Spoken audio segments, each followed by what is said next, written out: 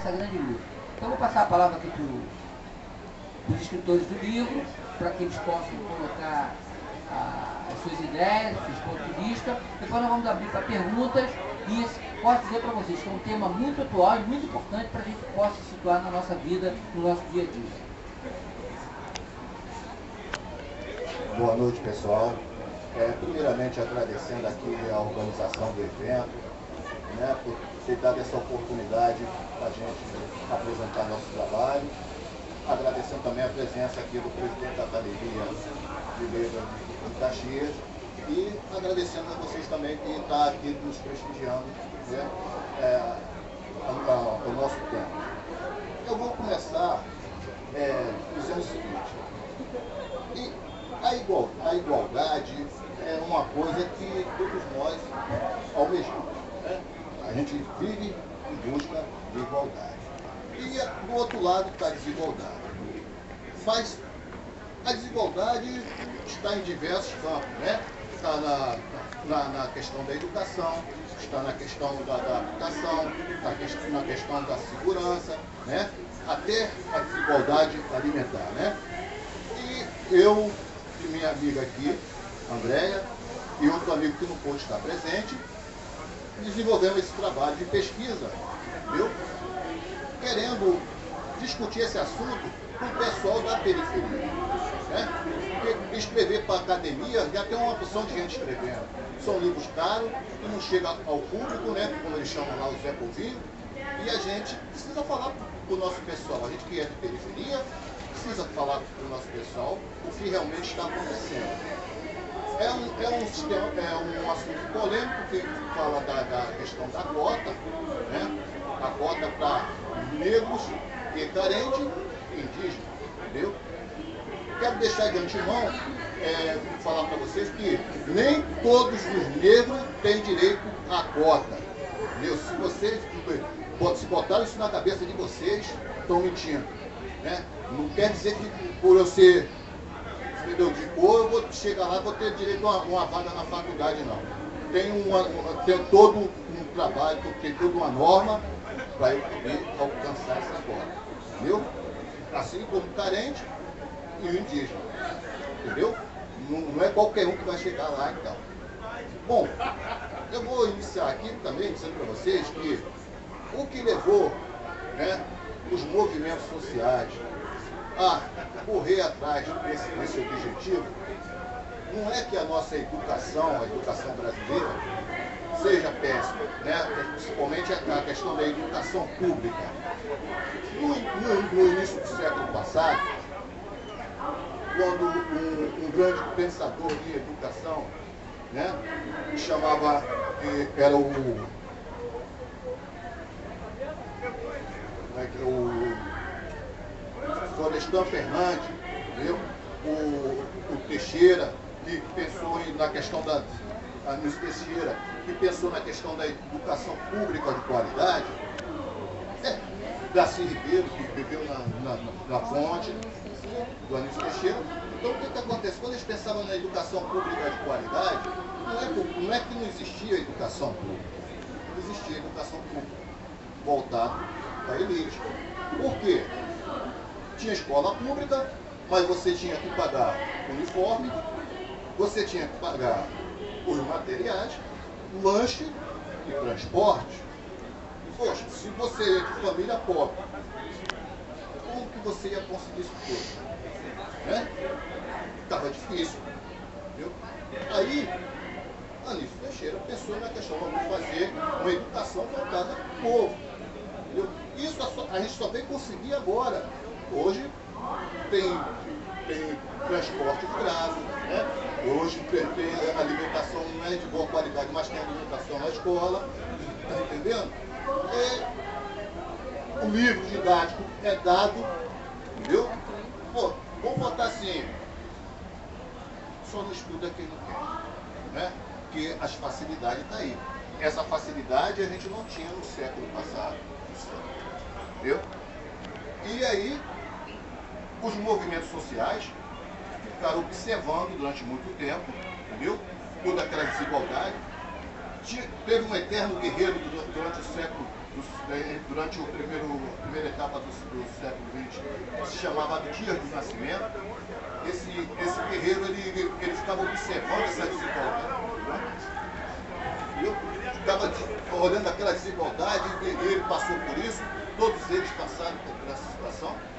E quando, quando chegou na Constituinte de 1987, os movimentos sociais já estavam com essa pauta toda pronta. Entendeu? Sabe quê? Estava com essa pauta toda pronta. Aí, voltando no, no final, no, no, final dos anos 60, acontece um, uma, uma, uma, crise aqui no, no Brasil, né? E a gente já sabe, não vou falar para vocês, que é o tal do golpe, militar, tal, tal. E, é de 64, e eles mudam toda a estrutura educacional. Entendeu? A educação para a elite continua e agora tem educação para os pobres. Entendeu? É, a gente tem que pensar que na década de 70, 60, 70, com a ditadura militar, é, quem comandava a educação no Brasil era os Estados Unidos, chamado Maxwell. Né? Então tudo que tinha em relação à educação vinha de fora. E é, o acesso ao ensino superior para o brasileiro, para o pobre, era impossível. Né?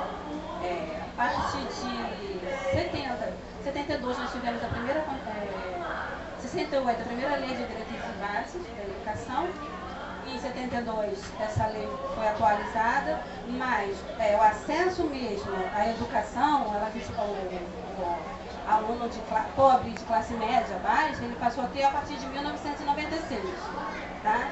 E a, essa lei ela é chamada é, Lei da Ribeiro porque foi o Darcy Ribeiro. É, o que me marca muito, assim, na minha visão, é o Darcy Ribeiro já doente, com câncer, carequinha, tentando prolongar essa lei, que dá direito que a criança tem acesso, né? a gente tem acesso à pré-escola. A criança vai para a escola a partir de dois anos de idade.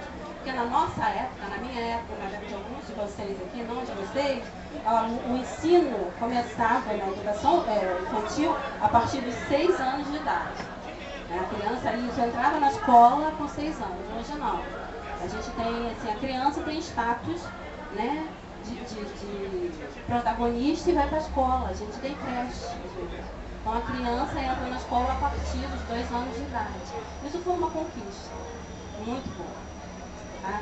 A gente não vai se tentar muito a falar sobre políticas educacionais, a gente vai falar mais sobre o livro, tá? que o nosso livro fala é, as desigualdades sociais e raciais no Brasil moderno, mas voltado para a educação, voltado para as medidas afirmativas. E dentre as medidas afirmativas estão as cotas raciais e sociais. Não sei se vocês estudam escola pública ou particular, né? não sei quem faz ensino médio, eu sou professora de sociologia do ensino médio, e a escola deve estar falando, porque você fala muito uma, uma das formas de a gente trabalhar a educação é falando sobre essas medidas afirmativas. Né? O porquê nos levou a escrever esse livro, a tentar explicar essas cotas raciais sociais. Há uma grande dificuldade de interpretar o que são essas cotas.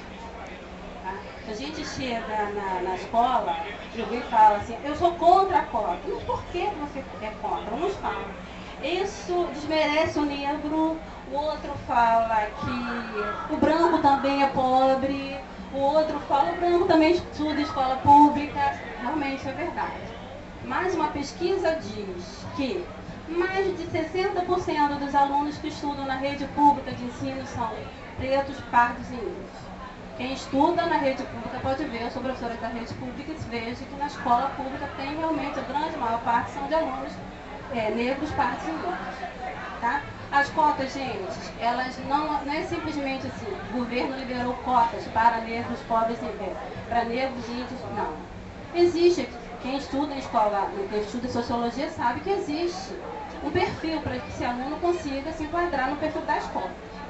Né? Ele tem que estar estudando é, no, é, na escola pública, tá? tem que ter uma renda per capita de um salário e meio, tá? E alunos que é, estudaram em escola particular, ele tem que ter sido bolsista de 100% no curso de ensino médio. Fora isso, ele não tem direito a cota. Então a gente tem que colocar isso bem claro, porque as pessoas pensam que simplesmente um negro consegue estudar numa faculdade pública. Não é assim. Né? A gente vê negros de classe média que estudam na escola pública que não pode acessar o sistema de cotas. Então, assim, é, a nossa preocupação é falar, porque é, é, você pode até ser contra, mas você tem que saber, você está sendo contra por quê? Entendeu? E assim, é, agora não que eu não estou em sala de aula, mas eu trabalhei muito isso com os alunos e a gente conseguiu é, mudar a cabeça de muitos alunos em relação a isso. Mesmo outras coisas que a gente conseguiu mudar a cabeça, porque existe é, o preconceito, o preconceito só existe por causa da desigualdade. A desigualdade social, ela proporciona o preconceito. Tá? E a gente vive numa sociedade muito desigual. O Brasil vive. Né? E o momento agora, então, né, que acabou assim, é, esse tumultuado de mudança de governo, a gente perdeu uma coisa muito importante, que foi a Secretaria de Promoção da Desigualdade Racial e Social. Né? Isso não era voltado apenas para negros, né? a gente vinha aí, são as mulheres, a gente sabe que existe um preconceito imenso em relação às mulheres, aos homossexuais, a gente está tendo aí um, constantes debates. É, há pouco tempo uma menina sofreu aquele estupro, né? E a gente está tendo esses debates constantes aí, e a gente perdeu uma secretaria nesse perfil é muito ruim. Né? É uma regressão muito grande. Então acho que a gente está aqui mesmo é só. Eu vou falar um pouquinho do nosso livro, os tópicos que, que precedem o nosso livro. Aí vocês podem fazer perguntas. Na medida do possível, se a gente puder responder, tá bom?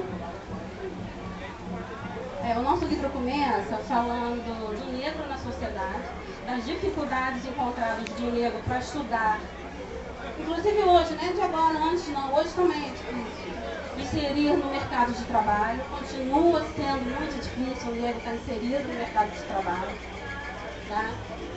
A gente fala é, do, do, das dificuldades, das dificuldades encontradas é, pelo negro pela sociedade que ela é desigual.